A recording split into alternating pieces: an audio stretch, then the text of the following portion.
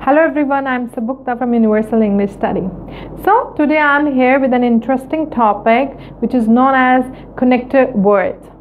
आप सबने बहुत बार सुना होगा कि जब भी आप राइटिंग करते हैं या स्पीकिंग करते हैं जब आप रुक जाते हैं पॉज लेते हैं अगर मैं स्पीकिंग की बात करूँ तो प्लीज़ कनेक्टर यूज़ कीजिए राइटिंग में अगर आप अपने सेंटेंस स्ट्रक्चर को और ज़्यादा स्ट्रॉन्ग बनाना है तो प्लीज़ यूज़ कनेक्टर सो जब भी आपको ये बोला जाता है कनेक्टर्स यूज़ कीजिए तो आपके माइंड में सिर्फ़ आई थिंक कुछ कॉमन कनेक्टर्स आते हैं। कनेक्टर्स से आप सिर्फ़ समझते हैं। आपने लगा दिया moreover however after that consequently and hand so ये बहुत ही छोटे ब्रीफ थोड़ा थोड़ा आपके माइंड में कुछ वर्ड्स हैं जो आपको लगता है अगर हम ये यूज़ करते हैं तो this is known as four connect of course these are connectors but in this video I will tell you that how to use connective words do you ever know do you know about there are four types? Of connective words और वो different different four types हैं। अगर आप उन different types को समझ लेंगे तो आपको ये पता लगेगा कि हर एक टाइप को किस वे में कौन से सेंटेंसेस में हम कनेक्टर्स यूज़ कर सकते हैं? क्योंकि आज तक हम सिर्फ़ कनेक्टर्स यूज़ करते हैं सिर्फ़ ये सोच के हाउ वे कहीं भी लगा देंगे। मोर ओवर भी ऐसे ही लगा देना है जस्ट हम हमें बोला गया है कनेक्टर्स यूज़ करने क्योंकि हमने एक सेंटेंस को दूसरे सेंटेंस से जोड़ना है। फाइन लेकिन ये बहुत इंपॉर्टेंट है अगर आप अच्छा स्कोर करना चाहते हो अपने किसी भी इंग्लिश uh, के टेस्ट और राइटिंग स्पीकिंग में तो प्लीज़ मेक श्योर आप ये वीडियो पहले तो एंड तक देखें। और इसके कुछ पार्ट्स हैं जिसमें आपको ये पूरी डिटेल में मैंने आपको कनेक्टिव वर्ड्स के बारे में बताया है। सो so, मैं आपको बताऊँगी कनेक्टिव वर्ड्स होते क्यों हैं इनको यूज़ क्यों किया जाता है और इनके क्या टाइप्स हैं। So first of all connective words वो वर्ड्स होते हैं जिनको हम यूज़ करते हैं।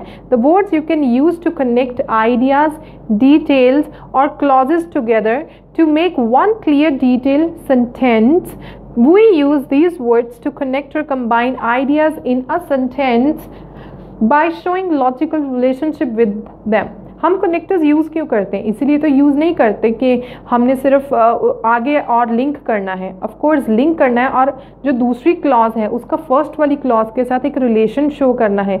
एक हमें लिंक शो करना है, इसीलिए हम ये कनेक्टिव वर्ड्स को यूज़ करते हैं। So basically there are four type of connective words the first one is coordinating conjunction जो हमारी फ़र्स्ट टाइप है that is a coordinating conjunction second is relative pronoun Then third one is subordinating conjunction. The fourth one is conjunctive adverbs.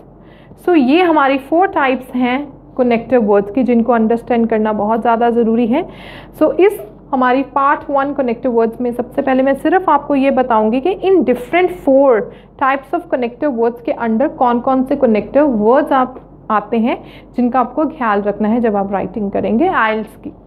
So coordinating conjunction so coordinating conjunction के under आते हैं for nor or and but so and yet so so, ये वाले जो words हैं ये आते हैं कोऑर्डिनेटिंग कंजक्शन में। In my video part two आपको वहाँ पर पता चलेगा कि कोऑर्डिनेटिंग कंजक्शन किसको कहते हैं और ये वाले वर्ड्स हमने कब यूज़ करने हैं कौन से सेंटेंस में यूज़ करने हैं। उसके बाद आता है रिलेटिव प्रोनाउन प्रोनाउन आपको पता है क्या होते हैं that are use at the place of noun जो नाउन की जगह पर यूज़ होते हैं उनको प्रोनाउन कहा जाता है। सो so, रिलेटिव एक टाइप है प्रोनाउन की रिलेटिव प्रोनाउन है who which that whom and whose ये वाले जो हैं, ये भी कनेक्टिव वर्ड्स होते हैं जो हमें यूज़ करने होते हैं। स्पेशली ये बहुत सिंपल होते हैं और ये एक्चुअल में हम बहुत ज़्यादा कम यूज़ करते हैं। उसके बाद हमारी third one is subordinate conjunction इसके अंडर आता है when if since because while though, before, so that, although, as if, whenever, until, wherever, after, as, unless, where, in order that, as though so these all are the words that come under subordinating conjunctions so ये काफ़ी सारे connective words हैं और आप खुद सोचिए आप इनमें से बहुत कम connective words यूज़ करते थे और without any knowledge कि कौन सा connective word कौन से हमें structure of sentence में यूज़ करना है the last one is The last one is your con conjunctive adverbs ये आपकी लास्ट है टाइप और इसके अंडर आता है आपका However, furthermore, meanwhile, otherwise, therefore, on the other hand, consequently, nevertheless, instead, moreover, afterward. So so, ये सभी जो हैं आपके फोर टाइप्स हैं कनेक्टिव वर्ड्स की जिनको आपको ध्यान में रखना है।